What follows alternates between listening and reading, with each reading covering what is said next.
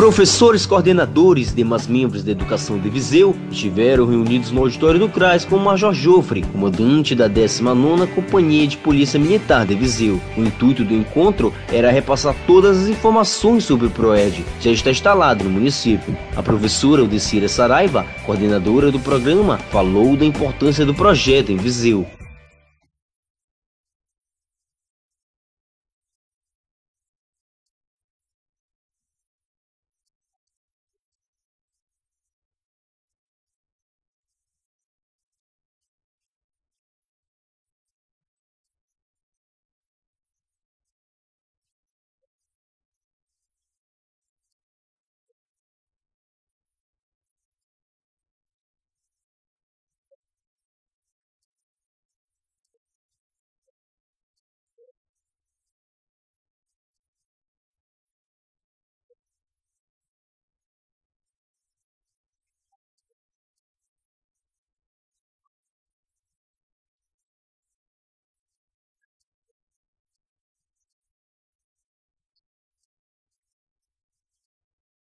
O professor Salles, que estava atento aos esclarecimentos do major, falou com a nossa reportagem.